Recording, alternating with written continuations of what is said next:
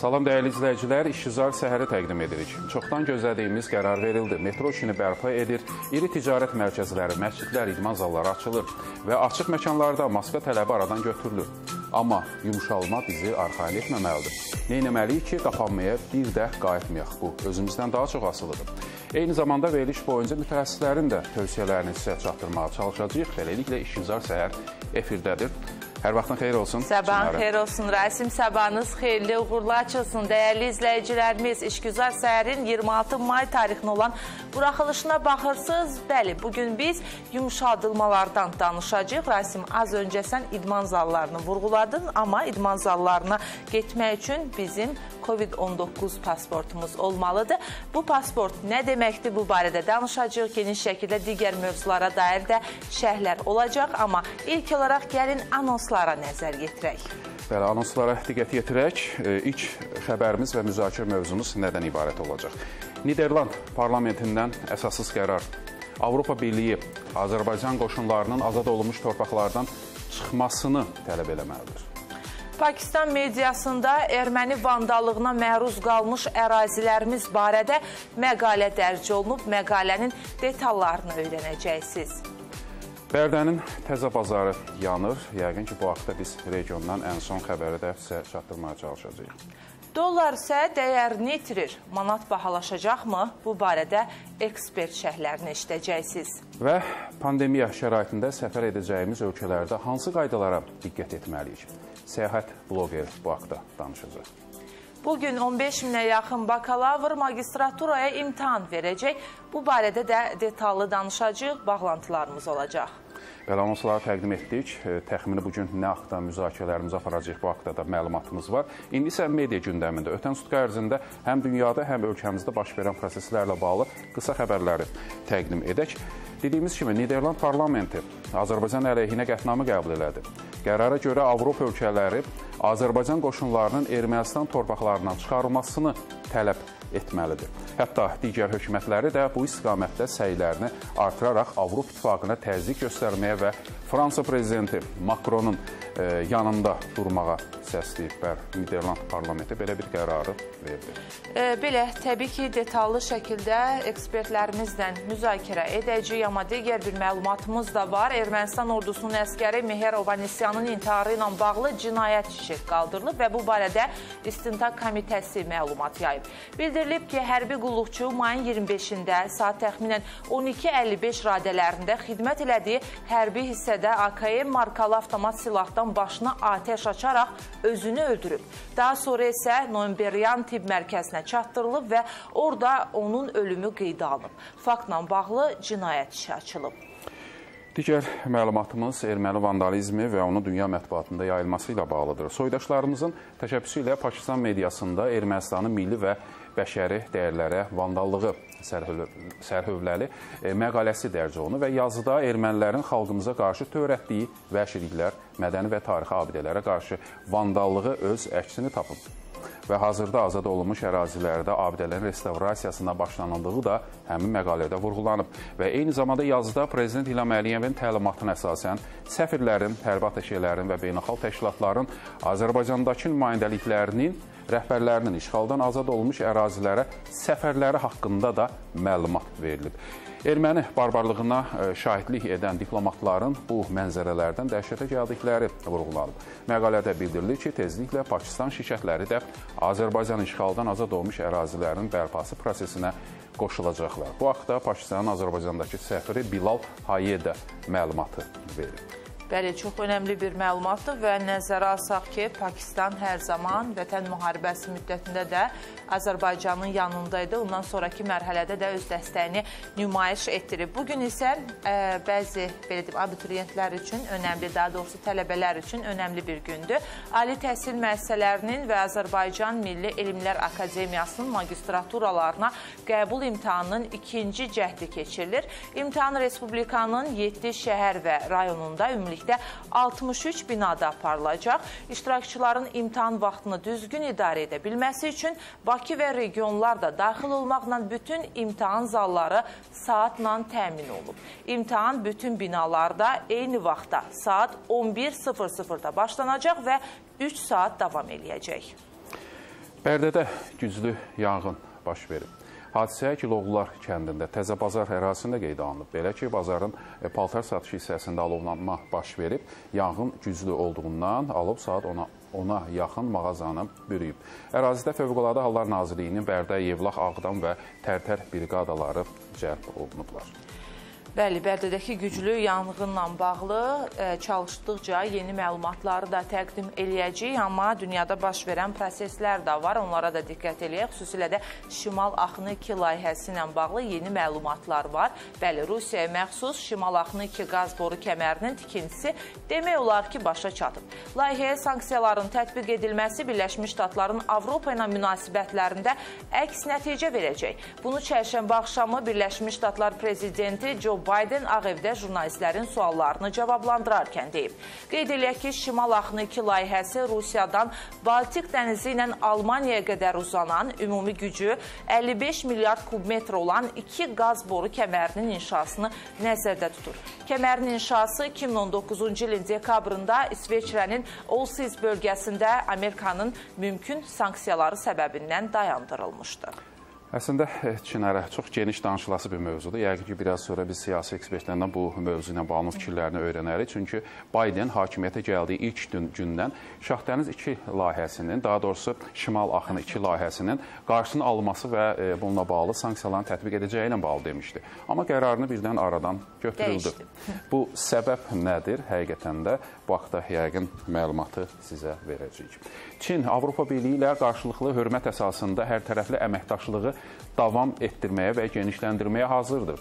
Bunu Çinin Xarici İşlər naziri Wang Yi e, Münhen Təhlükəsizlik Şurası zamanı bildirib. Konfransda məlumat verib. O vurğulayıb ki, Çin Avropaya rəqib deyil, tərəfdaş kimi baxır. Amma bütün bunlara baxmayaraq Qərb və Avropa Çinə yenə sanksiyalar haqqında Sanksiyaların tətbiqinə hazırlaşırlar, düşünürlər və bu artıq illərdir ki, davam eləyir. Xüsusilə də Çinin iqtisadi baxımdan güclənməsi qarşı tərəfləri təbii ki, qıcıqlandırır və müxtəlif tədbirlərlə bunun qarşısını, sanksiyalarla bunun qarşısını almağa çalışırlar.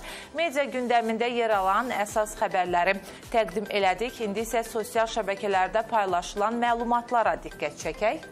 Elə ötən gün sosial şəbəkələrdə doğrusu daha çox paylaşılan eyni zamanda e, vaksin pasportu alanlar və immunitet pasportu alan şəxslər oldu. Öz pasportlarını daha çox e, paylaşdılar və eyni zamanda digər məlumatlarımız da var, digər paylaşımlarımız da var. Elə ötən gün dediyimiz kimi Azərbaycan-Ermənistan sərhədində növbəti dəfə gərginliyin yaşanması barədə hökumətlər e, məlumatlar yayıldı və sosial şəbəkələrdə yer alan məlumata görə hadisə nəticəsində bir erməni hərbçi həyatını itirib. Lakin Azərbaycan Müdafiə Nazirliyi daha sonra həmin məlumatı yalanladı. Bəli, məlum olub ki, həmin bir erməni hərbçi əslində Ermənistan və Azərbaycan arasında hər hansı bir gərginlik nəticəsində həyatını itirməyib. Yəni, tamamilə başqa səbəblərdən e, baş verib, amma Azərbaycanın üzərinə e, atmağa çalışırlar bu hadisəni də və təbii ki, ciddi şəkildə Azərbaycan tərəfi bu məlumatın həqiqəti əks etdirmədiyini dəfələrlə vurğulayıb. E, digər bir məlumat da var, elə sosial şəbəkələrdə Rasim Dünən ən çox, artıq günlərdir ki, ən çox paylaşılan məlumat məlumatlar həm də bununla bağlıdır. Hətta mən e, dünəndən etibarən sosial şəbəkələrdə bir e, müzakirə və yaxud da bir münaqişə halına gəldiyini də görmüşəm bu hadisənin. Səbəblərini indi açıqlayacağam. Belaruslu müxalif Roman Protaseviçin olduğu təyyarənin Minsk e, şəhərinə məcburi endirilməsi və həbsindən sonra Avropa ölkələri ilə Belarus arasındakı gərginlik hələ də davam eləyir və ölkələr təyyarə səfərlərini Belarus üzərindən etməməyə çalışırlar. Buna görə də ölkənin hava məkanında təyyarələrin hərəkəti demək olar ki, dayandırılıb. Belə buna dair də müxtəlif fotolar yayımlanıb. Dünəndən etibarən Belarus səmasının boş olmasına dair məlumatlar görürük. Digər tərəfdən isə bəzi saatlarda e, belə hesab edirlər ki, əslində Rusiya təyyarələri çox asanlıqla, rahat şəkildə Belarus səmasından uçur. Ona görə də əslində səmada boşluq müşahidə edilmir. Amma bəzi saatlarda doğrudan da ciddi bir e, boşluq müşahidə olundu. Çünki Avropa buna dair öz fikrini artıq açıqladı və qeyd elədi ki, biz təhlükəsizlik tədbirlərini nəzərə alaraq bunun baş verməsinə göz yuma bilmərik. Elə bununla bağlı həm Birləşmiş Ştatlar və Avropa e, rəsmiləri tərəfindən çox ciddi təhdidlər gəldi Belarusa qarşı və yaxın vaxtlarda ciddi sanksiyalar gözlənilir və ATƏT-in elə sonuncu hal-hazırda davam edən konfransında da bu məsələ artıq gündəmdir.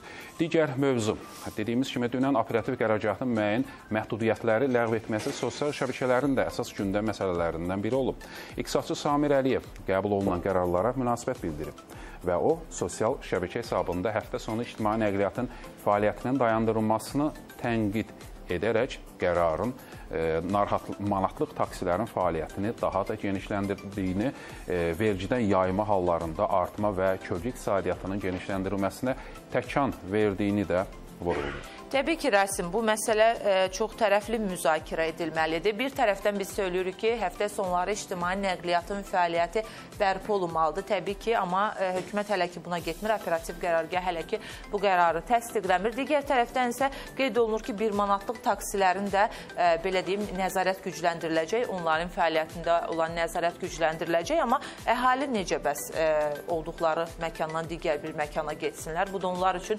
müəyyən çətinliklərin yaranması yaranması deməkdir. Çünki əksər insanlar e, bir manatlıq taksilərdən istifadə edərək ictimai nəqliyyatda olan boşluqları doldurmağa çalışırlar. İlkin olaraq biz ictimai nəqliyyatımızdakı boşluqları, problemləri həll etməliyik. Daha sonra isə digər e, belə deyim, ətraf e, amillərə fikir verməliyik. Məsələn, bir manatlıq taksilər kimi. Çünki təbii ki, bu normal cəmiyyətlərdə, normal sistemlərdə bu şəkildə işləmir. Bir manatlıq taksi formatında işləmir, amma digər tərəfdən ilkin olaraq ictimai nəqliyyatımızın vəziyyəti bəllidir bizə. Elə bu yaxınlarda Nəqliyyat Agentliyi də bununla bağlı məlumat verdi və e, qeyd olundu ki, həmin dediyin o həmin taksilərlə bağlı bir qərarlar qəbul olunmalıdır və onlara cərimələr tətbiq olunmalıdır. Amma doğru qeyd elədin ki, şənbə bazar günləri olsa da kimsə öz müəyyən tələbatını ödəmək üçün hansı nəqliyyatdan istifadə etməlidir və məcburdular bu e, taksilərdən və Samir Əliyevin də bununla bağlı mən fikirlərindən razıyam. Təkcə hətta e, deyərdim ki, şənbə və bazar günləri yox, həftə içi də həddindən artıq sıxlıq müşahidə olunur və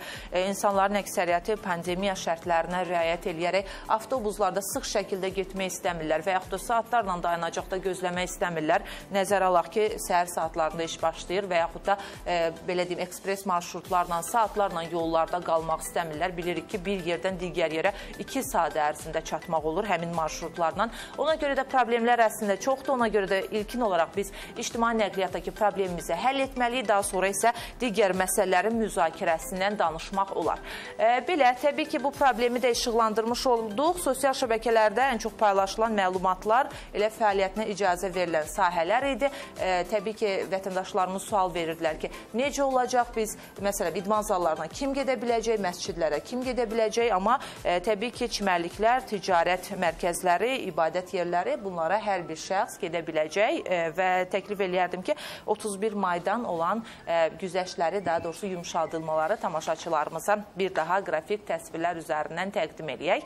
Fəaliyyətinə icazə verilən məkanlar 10 iyundan etibarən e, çimərliklər olacaq, ticarət mərkəzləri olacaq, idman sağlamlıq obyektləri olacaq, eləcə də ibadət yerləri nəzərdə tutulur. Amma 31 maydan, yəni bir neçə gündən sonra məhdudiyyət aradan qaldırılacaq sahələr isə metro və şəhərlərarası, rayonlararası nəqliyyat, sərnişin daşıma xidməti olacaq.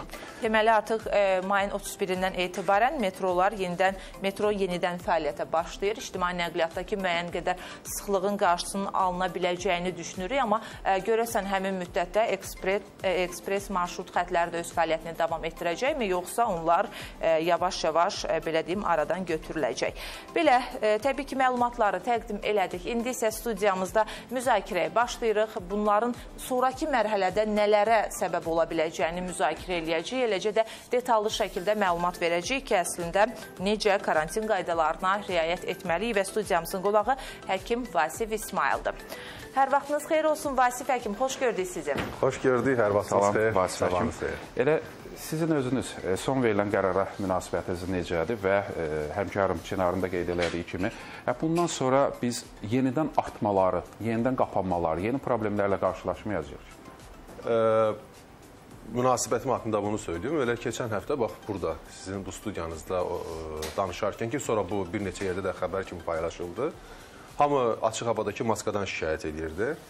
Ancaq mən orada söylədim ki, bir sonraki brifinqdə təkcə maskalarla deyil, başqa xoş sürprizlər də ola bilər. Mən dediyim kimi bunu ovcumu inəməmişdim və içəridən də hansı məlumat almamışdım. Sadəcə olaraq hadisələrin məntiqi bunu söyləyir.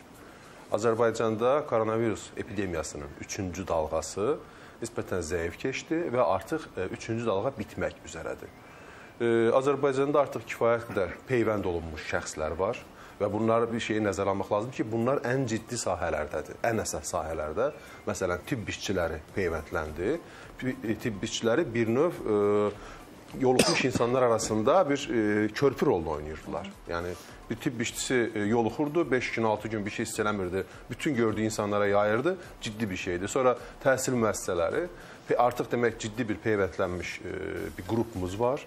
Eyni zamanda əhalinin digər hissəsi də peyvəndlənmə məsələsində məncə maraq göstərdi e, düşünülənlərin əksinə. Artıq Azərbaycanda kifayət qədər yoluxmuş və sağalmış insan var. Yəni Azərbaycanda kütləvi immunitet məsələsində kifayət qədər e, irəliləyişlər var və bu dövrdə də artıq e, bir çox sahələri açmaq olar. Məsələn, mollar açılacaq, amma heç kəs düşünməsin ki, mollarda maskasız gəzə biləcək. Xeyr, mollarda maskalı gəziləcək ibadət yerləri açıldı, orada da müəyyən məhdud qaydalar qoyulub. O qaydaları bizə indi açıqlamırlar, amma zənnimcə o məscidlərə və ya kilsələrə artıq onlara haqlı müəyyən təlimat gedib. Eləcə də e, çimərliklər və idman zalları, idman zallarına bildiyim kimi giriş üçün COVID pasportu almaq lazımdır. Burada məncə e, yenilik e, COVID pasportundadır. Azərbaycan e, Avropada ilk dövlət oldu ki, e, COVID pasportu ilə haqqında artıq real ə, e, e, addımları rəsmi şəkildə açıqladı. Bundan əvvəl Qərbi Avropa ölkələrinin bəzilərində Covid pasportları ola biləcəyinə dair ehtimallar səslənirdi, amma Azərbaycan artıq Covid pasportunu ə, e, dövrəyə soxacağını bildirdi. Demək, Covid pasportu əldə edərək bunlar idman zallarına getmək mümkün olacaq. E, Vasif həkim, gəlin tamaşaçılarımızı bir daha məlumatlandıraq ki, əslində COVID pasportu deyəndə nəyi nəzərdə tuturuq? Çünki e, insanlar düşünür ki, yalnız vaksin olunan şəxslər həmin pasportu əldə edə biləcəklər. Yəni artıq sayta daxil olaraq e, bunu e, əldə etmək olar, amma həm də yoluxub sağalmış insanlar da həmin pasportu əldə edə biləcəklər. Yəni immunitet yaranan insanlar həmin pasportu əldə edə bilərlər. Amma bu müddət nə qədər müddət nəzərdə tutulur? Məsələn, 6 aydan uzun müddətdir ki, e, bir şəxs COVID-19-a yoluxubsa, o da COVID-19 pasportu əldə edə biləcəkmi? Burada hətta başqa maraqlı sual da var. Demək, COVID pasportu əldə etmək üçün sizin ya peyvənd olunmuş olmalısınız ki, bu zaman İcbari Tibbi Sığorta Agentliyinə və təbibdə sizin haqqında artıq qeyd var. İkincisi, siz yoluxmusunuzsa, artıq bunun haqqında da təbibdə qeyd var. Bunların COVID pasportu almağı çox rahat olacaq. Amma mənim sualım bundan ibarətdir. Yoluxub, xəstələnib, evdə müalicə olunub, amma dövlət qurumlarına xəbər verməyən insanlarda COVID pasport verilməz. Gizli keçirmiş bəli, bəli, gizli keçirmiş xəstələrdə necə olacaq?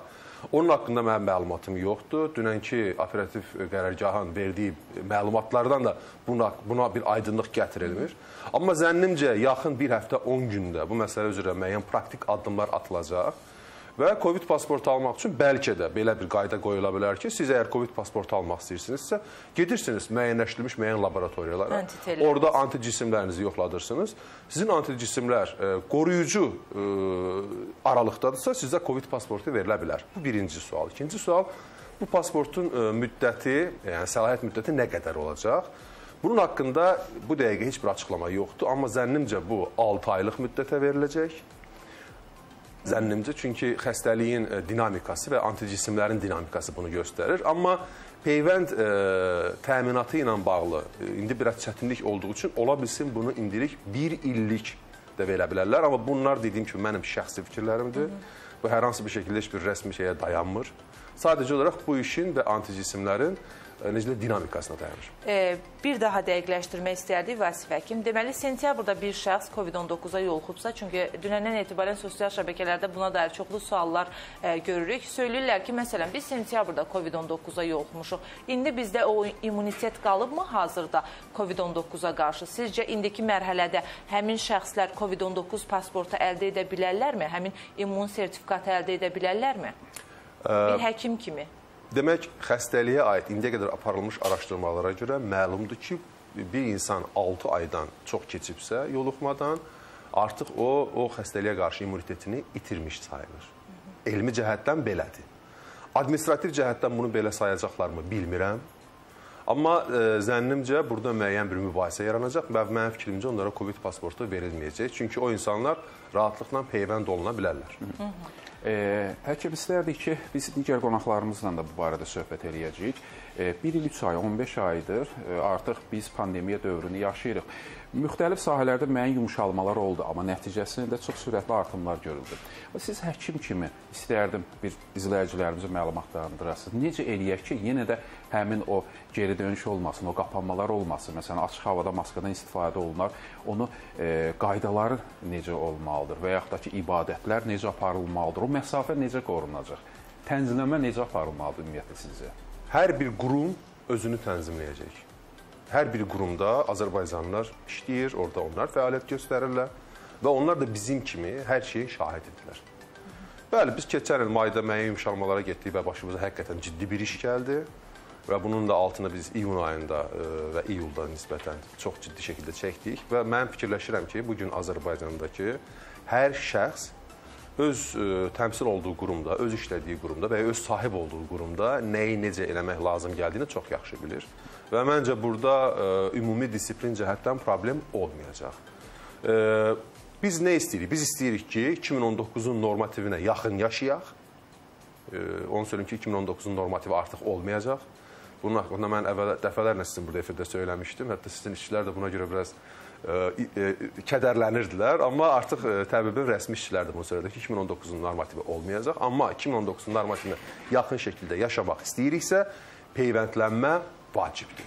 Və Covid pasportu da bu məsələdə çox ciddi bir təşviqat alətidir. Siz düşünsənizə, məsələn, Gürcüstan ə, bundan 3-4 gün sonra bizim olan sərhədləri açır, quru sərhədlərini. Siz Gürcüstana getmək istəyirsiniz, bəli. Nə tələb sizdən? Ya Covid pasportu almış olmalısınız, ya da ki 72 saat ərzində siz PCR test verməlisiniz. Hansı daha çox sərf edir? Covid pasportu. Covid pasportunu almaq pulsuzdur. Pulsuzdur. Dövlət sizə gedirsiniz, heç qəpik də xərcləmirsiniz, sizə peyvəndinizi vurdurur. Amma PCR test elətdirmək 100 manatdan artıqdır. Azərbaycanı sizə hansını seçəcək? Əlbəttə ki, peyvəndlənərək Covid pasportunu almağa seçəcək. Və ya götürək ki, sabahsı gün toy mərasimlərinə bağlı müəyyən bir artıq ə, indi bu dəqiqə açıqlanmır, amma böyük ehtimalla belə olacaq. Covid pasportu məsələsi ortaya qoyulacaq ki, Covid pasportu olan məsələn 100 adam, 200 adam, 300 adam falanca ə, kvadrat metr sahədə toy məclisi məsələn 3 saat, 4 saat keçirə bilər. İnsanlar nə edəcəklər? Gedib PCR test verib cibindən pul verməkdənsə, elə gedib dövlətin hesabına, yəni vətəndaş üçün pulsuz bir şəkildə Covid pasportunu almaq üçün peyvənd olunacaq. Bu gün xəstəliyin qabağını almaq üçün, yayılmasının qabağını almaq üçün və 2019-un normativinə daha yaxın yaşamaq üçün biz peyvəndlənməni təşviq eləməliyik və həyata keçirməliyik.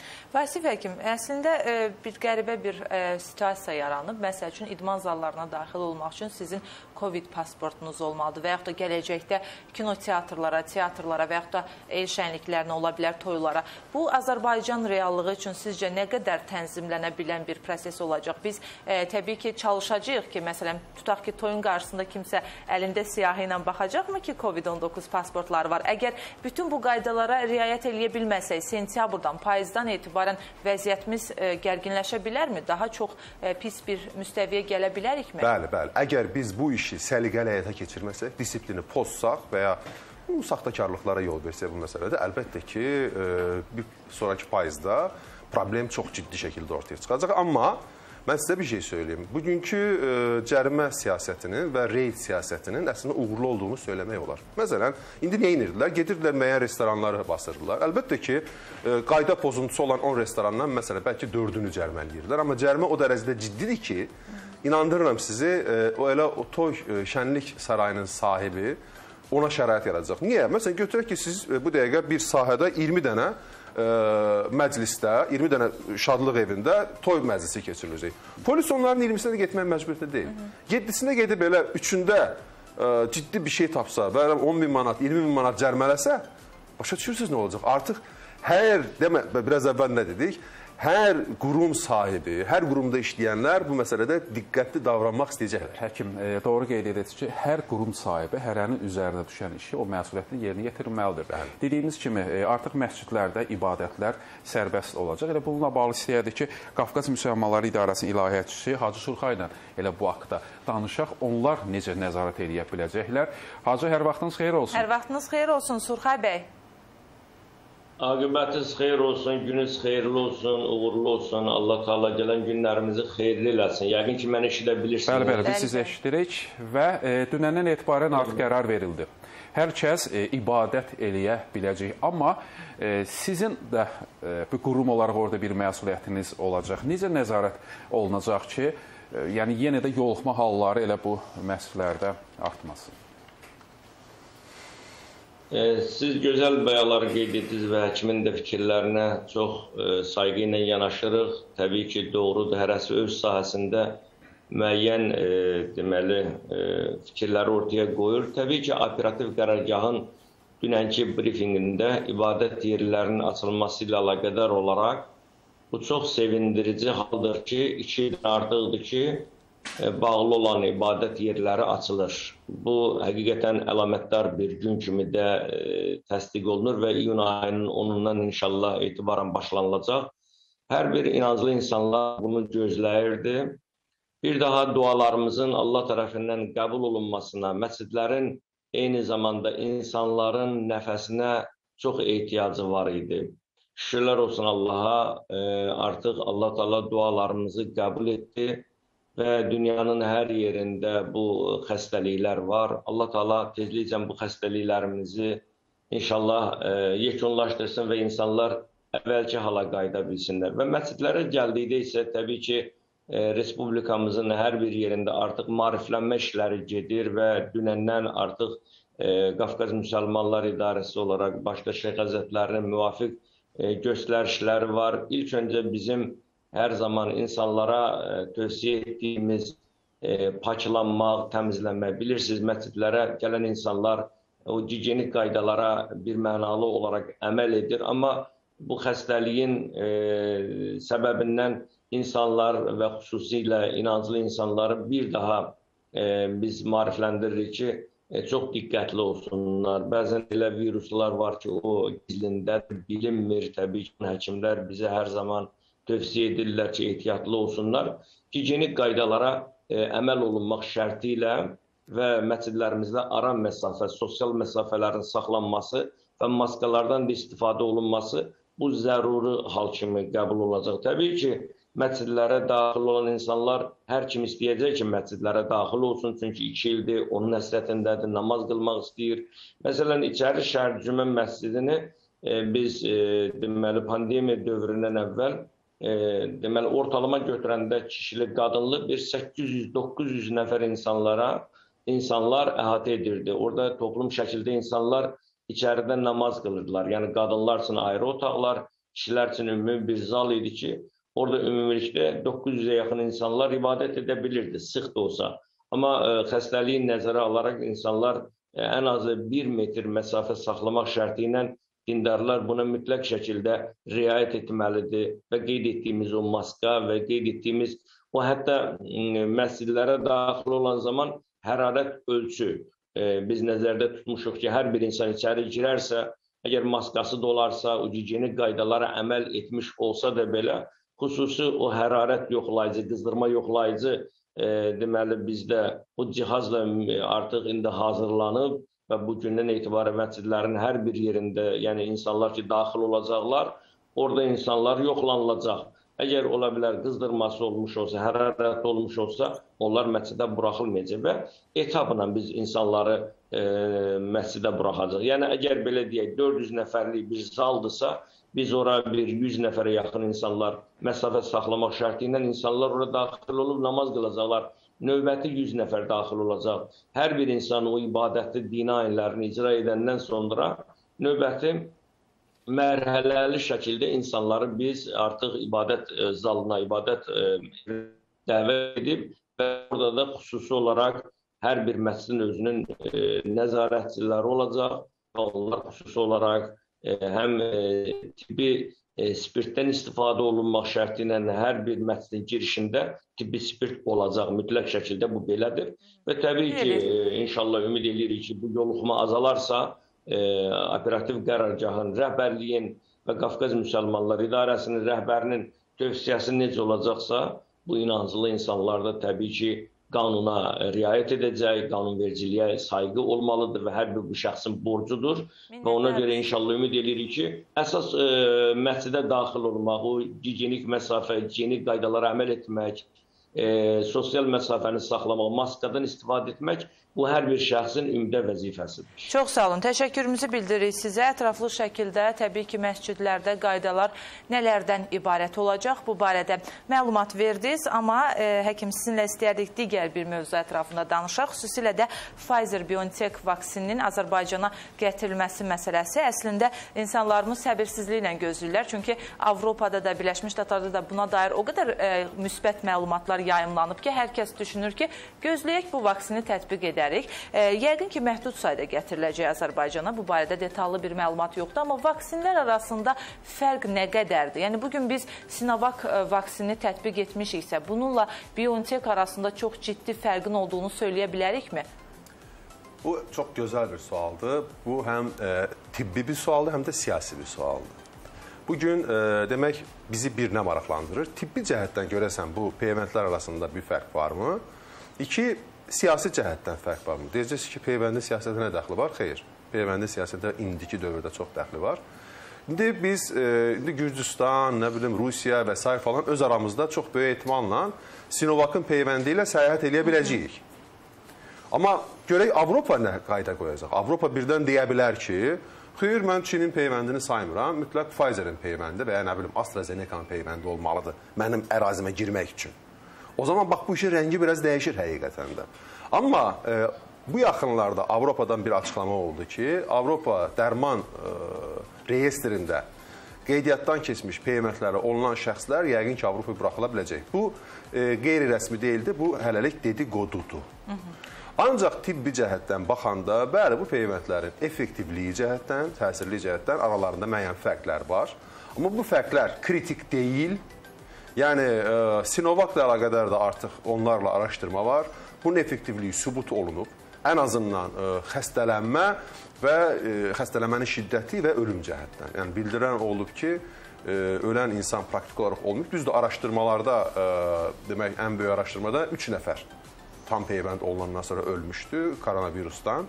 E, bu özü pis bir göstəricidir, amma nəzərə alsaq ki, 30-40 min insana siz bunu tətbiq etmisiniz və onlardan sadəcə 3-ünü itirmisiniz. Bu kifayət qədər yaxşı nəticə sayılır.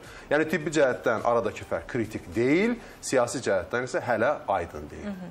Bəli, siyasi cəhətdən aydın olmaması bəlkə də seçim e, şansı buraxmır insanlara. Fikirləşirlər ki, Avropa BioNTech e, daha üstün tutursa, deməli biz bunu tətbiq etməliyik. Digər tərəfdən isə söylədiyiniz kimi Avropa Dərman Agentliyi hələ ki Sinovakı qeydiyyatdan keçirməyib, amma söyləyib ki, ona dair araşdırma aparılır. Ümid edək ki, qeydiyyatdan keçiriləcək. Məncə də qeydiyyatdan keçiriləcək, çünki Çünki artıq Sinovac e, bir neçə ölkədə, xüsusilə də Azərbaycanda və Türkiyədə artıq tətbiq olundu. Türkiyədə yazılmış çox yaxşı və artıq yayınlanmış e, çox yaxşı yayınlar var, yazılar var, araşdırmalar var və Türkiyənin də tibbi elminin e, kifayət hörməti olduğu üçün zənnimcə burada çox ciddi bir problem olmayacaq. Amma insanların seçim haqqı var. Məsələn, mən bununla əlaqədar öz dostlarımla, tanışlarımla bir şəkildə əlaqədəyəm. Məsələn, bu yaxınlarda son bir dostlarımdan birisi özünə və yoldaşına peyvənd vurdurmaq üçün Pfizer-i gözləyimmi, yoxsa Sinovac olunmu? Dedim, əlbəttə, qərar öz qərarındır, mənim sənə bir şeyim yoxdur. Amma mən Sinovacı olmuşam və özümü rahat hiss edirəm. O dedi ki, yaxşı, mən də artıq indi girirəm randevuya. E, randevu saytı var bildiyiniz kimi. Randevu İTS.gov.az. Bəli, randevu İTS.gov.az. Girdi o sayta, qeydiyyatdan keçdi və peyvəndini də böyütməman artıq. E, həkim, bəlkə də elə dünya əhalisinin, elə Azərbaycan vətəndaşlarında bu vaksinlərə olan münasibətinin bir mənalı olmaması, fərqli olması səbəbi də elə bu siyasi proseslərdir. Çünki deyək ki, Avropa sabah Rusiyaya qarşı sanksiyalar tətbiq eləyirsə, onun vaksinini artıq vurdura bilməyəcək. Belə bir problemlər də var. E, yeri gəlmişə bundan sonra e, hüquq mühafizə orqanlarının fəaliyyəti nədən ibarət olacaq? On, onlarla da söhbətimizi eləyək, sonra sizinlə də yenə müzakirəni aparacağıq. Bəli, Daxili İşlər Nazirliyinin şöbə rəisi Elşad Hacıyevlə danışacağıq və o bizə karantin qaydaları necə tətbiq olunacaq bu barədə məlumat verəcək. Elşad bəy, hər vaxtınız xeyir olsun, salamlayırıq sizi. Sabahınız xeyir olsun. Hər vaxtınız xeyir, sabahınız xeyir olsun, gününüz uğurlu olsun, sizi və tamaşaçıları salamlayırıq. Eşət müəllim, bu yeni qaydalardan sonra sizin əsas fəaliyyətiniz nədən ibarət olacaq? E, xüsusən də maskalarla bağlı tələblər. Təşəkkür edirik. Mayın 31-dən başlayaraq ictimai yerlərdə, yəni açıq havada e, tibbi maskanın taxılmasının məcburiyyəti ilə bağlı nəzərdə tutulan qayda ləğv olunub. Bu qaydaların e, yeni formada, yeni şəkildə davam etdirilməsi üçün e, konkret normalar bəllidir, məlumdur və vətəndaşlarımız e, bu dövrdən başlayaraq, yəni may ayının 31-dən Respublika ərazisində açıq havada tibbi maskadan istifadə etməyə e, bilərlər. Yalnız burada tələb olunan məsələ sosial məsafənin gözlənilməsi, eləcə də gigiyenik qaydalara əməl edilməsidir. Bu tədbirlərin icra olunması istiqamətində Respublika ərazisində Polis və Daxili İşlər Nazirliyinin hərbi qulluqçuları tərəfindən gücləndirilmiş qaydada nəzarət profilaktik tədbirləri daha da artırılacaqdır. Və xüsusilə fəaliyyətinə icazə verilən yeni sahələr var ki, burada və bu sahələrdən istifadə edən vətəndaşlarımız xüsusilə həssas olmalıdırlar. E, orada qapalı məkanlar olduğuna görə sosial məsafənin gözlənilməsinə ciddi əməl etməlidir. Metro stansiyalarında, platformalarda, vestibullarda, qatarlarda e, qaydalar əməl edilməlidir. Sosial məsafə, eləcə də tibbi maskadan istifadə xüsusi fikir vermə, verilməlidir və bu qaydaların təmin olunması, icra olunması hər birimizdən asılı olan məsələdir. Bu yalnız vətəndaşların işi yox, həm də e, hüquq mühafizə orqanları ilə bərabər birlikdə hamımızın ümumilli bir işimiz olmalıdır ki, e, yenidən e, dövlət e, sərt qapanmalara getməsin. Və yay fəslidir. Bu yay fəslini daha yadda qalan, ötən ildən fərqli olaraq e, istirahət şəraitində vətəndaşlarımızın hərəkət etməli olduğu ünvanlarda, arzusunda olduğu ünvanlara getmələri üçün şəraitin yaradılması və bu şərait necə yaradılmalıdır? Vətəndaşlarımız elementar qaydalara əməl etməlidir. Yəni e, vaksinasiya prosesi gedir, risk qrupu məlumdur, bəllidir. E, vətəndaşlar bu qaydalara, sadə qaydalara əməl edərək bu yoluxmaya öz tövfəsini verə bilər. Yəni e, bu yoluxma riski yaradan hallara qarşı dövlətin elan ediyi, elədiyi mübarizə tədbirlərinə qaydalara əməl etməklə, yəni özündən başlayaraq e, bu qaydalara ciddi əməl etməlidir. Və vətəndaşlarımız may ayının 31-dən başlayaraq bütün ölkə ərazisində hərəkətdə olduqları ünvanlarda bu xüsusilə sosial məsafə məsələsinə diqqət yetirsinlər. Xüsusilə eləcə də bir məsələni də diqqətə çatdırmaq istəyirəm ki, ictimai yerlərdə, eləcə də e, qapalı məkanlarda e, vətəndaşlarımız aktiv koronavirus xəstələri ilə bağlı onların ola bilmə ehtimalını nəzərə alsınlar. Çünki məsuliyyətsizlik nümayiş etdirib müalicə təyin olunan ünvanları tərk etmə halları var və bu hallarla bağlı e, hardakı aktiv koronavirus xəstələri var, hansı ünvanlarda müalicə edilməlidir və müalicə olunur, o ünvanlara nəzarət artırılacaq. Eləcə də ərazi səhiyyə qurumları ilə iş yaxşılaşdırılıb, genişləndirilib ki, aktiv koronavirus xəstələri risk yaradan vətəndaşlarla, vətəndaşların çox olduğu yerlərə çıxmasınlar. E, aşkarlanacağı tədbirdə qanunvericiliyə uyğun olaraq bilirsiniz, cinayət tərkibi var, epidemiya əleyhinə sanitar gigiyena karantin rejimlərinin pozulması ilə bağlı cəza təhdidi var. Bunu nəzərə alsınlar. Eləcə də xüsusilə COVID pasportu ilə bağlı fəaliyyətinə icazə verilən sahələrdə e, peyvəndlənmə sertifikatı, eləcə də immunitet sertifikatı vətəndaşların üzərində olmalıdır. Təşəkkür edirik, minnətdarıq sizə. Xüsusilə qeyd edeyim ki, həmin o sahibkarlıq subyektləri var ki, o sahibkarlıq subyektləri həmin ünvanlara daxil olan şəxslərin həmin bu uyğunluq sertifikatını orada içəri daxil olma sertifikatını yoxlamalıdır. Təşəkkürümüzü bildiririk. Çox sağ olun ətraflı şəkildə məlumat Təşəkkür verdiyiniz üçün. Qeyd eləyək ki, bağlantıda Daxili İşlər Nazirliyinin şöbə rəisi Elşad Hacıyev idi və təbii ki, karantin qaydalarına hansı formada nəzarət ediləcəyindən danışırdıq. Həkim sizinlə davam eləyək. Xüsusilə də bir məsələ var, vətəndaşlarımızı narahat eləyir. Həftə sonları ictimai nəqliyyat fəaliyyətini dayandırıb və metro da fəaliyyətini bərpa etdikdən sonra yenə də həftə sonları metro da işləməyəcək. E, və belə əsaslandırılır ki, əslində həftə sonları insanlar çox çölə çıxırlar. Yəni belə deyim, müxtəlif yerlərə gedirlər və bu zaman yoluxma artır. Yumşaldılmalara gedildiyi bir zamanda, yəni bu qədər yumşaldılma olduğu bir zamanda həftə sonu ictimai nəqliyyatın çalışması yoluxma sayına necə təsir göstərə bilər? Yəni ciddi bir təsirdən söhbət gedə bilərmi? Bilirsiniz necədir? Bu bir hesab kitab məsələsidir. Əlbəttə ki, xoş bir şey deyil. Ancaq insanlar belə düşünsünlər. Götürək biz cəmiyyətin bütün sahələrini açsaq, günə 100 təmas nisbəti olur. Yəni bir insan 100 insanla 1 metrdən daha yaxın məsafəyə gəlir. Biz buna təmas desək, götürək ki, bir insan bütün hər şey açıqdırsa, gündə 100 təmas olur. Əgər bütün nəqliyyatı bağlasanız, bu təmas sayısı birdən-birə 30-a 40-a düşür. Çünki artıq uzağa gedə bilmirsiniz. Həftə içi siz e, təması e, şey, açırsınızsa, bu səfər təmas sayısı təzədən 50-60-a çıxır. Ancaq həftə sonları bağlı saxlayırsınızsa, elə bu 50-60 səviyyəsində də qalır. Bu gün e, hökumət fikirləşir ki, mən necə edeyim ki, e, demək iqtisadiyyat və cəmiyyət normaya yaxın yaşasın, amma eyni zamanda da xəstəliyin e, yoluxma sürətini aşağı salsın. Yəni bu bir tərəzidir. Bu tərəzinin içərisində həftə sonu insanların nəqliyyatdan istifadə etmə tendensiyasının daha çox olduğunu nəzər alaraq bunu indilik qadağan eləyir. Baxın, nəyi açır? İdman zallarını açır. İbadət yerlərini açır. Çimərlikləri açır. Əlbəttə deyə bilərsiniz ki, kimin ki şəxsi avtomobil var, onlar üçün sanki biraz daha avantaj gətirir. Həqiqətən də elədir. Amma neyniyək? Yəni xəstəlik qarşısında bütün o sayıqlığımızı tamamilə mi itirək? Yoxsa nisbətən bunu qorumağa çalışaqmı? Mən e, bilirəm ki, bu gün insanların e, çox da xoşuna gəlməyən bir fikir bildirirəm.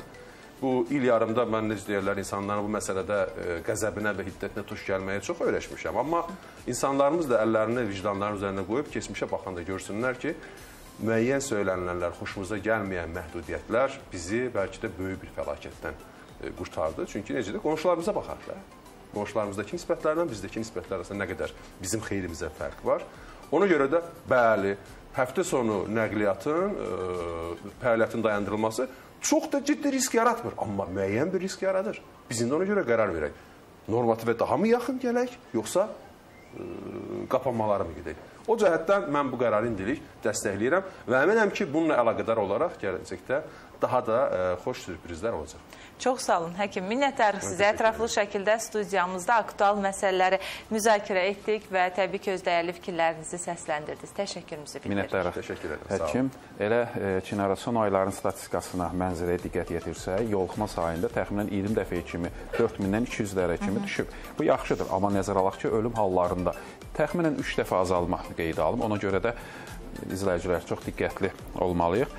İndi isə Çinarə digər bir mövzu ilə bağlı müzakirəmizi. Bəli, həm e, siyasi mövzular barədə danışacağıq, həm də təbii ki, e, Ermənistan və Azərbaycan sərhədində baş verən gərginliyə dair müzakirələrimiz olacaq və bizimlə bağlantıda siyasi şərhçi Əli Hacızadədir. Əli bəy, hər vaxtınız xeyir olsun, salamlayırıq sizi. Salam. Əli bəy, ilkin olaraq təbii ki, e, Cavad Zərifin Azərbaycana Bakıya səfərindən və keçirdiyi görüşlərdən danışaq. Əslində İran-Azərbaycan münasibətləri indiki mərhələdə necə dəyərləndirilməlidir? Təşəkkür edirəm. Bilirsiniz, e, İran-Azərbaycan münasibətlərini mənə elə gəlir bir neçə hissəyə bölmək olar. Birinci hissə bu 2-ci Qarabağ müharibəsindən öncə olan hissədir. İkinci hissə isə o 2-ci Qarabağ müharibəsinin yaratdığı reallıqlardan sonra formalaşan və e, bəlkə yenidən baxılan İran-Azərbaycan münasibətləridir. Burada biz həm problemlər görürük, həm ə, əməkdaşlıq perspektivi görürük. Bir tərəfdən bizim İranla ə, nəqliyyat sahəsində sıx əməkdaşlığımız var. Bildiyiniz kimi Şimal-Cənub koridorunun ə, Azərbaycan belə deyək, həm tərkib hissəsidir, həm çox vacib bir nöqtəsidir və istər cənubdan şimala və şimaldan cənuba keçən bu yüklər Azərbaycan üzərindən gedir. Bundan əlavə olaraq Azərbaycan İranın aidiyyatı nəqliyyat infrastrukturunun yenidən qurulması üçün, təkmilləşdirilməsi üçün 500 milyon dollar güzəşli kredit ayırmışdı İran tərəfinə. Baxmayaraq ki, İranın o zaman e, iqtisadi e, və siyasi vəziyyəti kifayət qədər gərgin idi, amma Azərbaycan bu addıma getdi və indi hal-hazırda, yəni İran tərəfi ilə bu istiqamətdə əməkdaşlıq davam edir, çünki İran tərəfi özündə e, dəmir yolu e, xəttlərini daha da şaxələndirir ki, bu e, koridor vasitəsilə daha çox yük götürə bilsinlər və s. və bu yaxında da e, elan olundu ki, İran İraqla, e, deməli, xüsusən Bəsrə limanı ilə dəmir yollarının e, birləşdirmək istəyir və bu da şimal-cənub koridorunun daha da e, belə deyək vacibliyini artıracaq və onun vasitəsilə yüklərin tranzitini çoxaldacaq. Bu məsələnin e, nəqliyyat tərəfidir. Digər tərəfdən Zəngəzur dəhlizi bildiyiniz kimi açıldıqdan sonra oradan bir xətt İrana da gedəcək və İran da bu dəhlizdən istifadə edə biləcək. Həmçinin Ermənistan da İranla bu dəhliz vasitəsilə nəqliyyat əlaqəsi əldə edəcək. Bundan əlavə Araz çayı üzərində bildiyiniz kimi indi hal-hazırda azad olunmuş ərazilərdə Orada e, su bəndləri var, çox iri su bəndləri var və orada həmçinin də su elektrik stansiyası stansiyalarının e, qurulması nəzərdə tutulur. Yəni bu bizim İranla e, əməkdaşlığımızın belə deyək pozitiv və iqtisadi, logistikaya dair e, tərəfidir.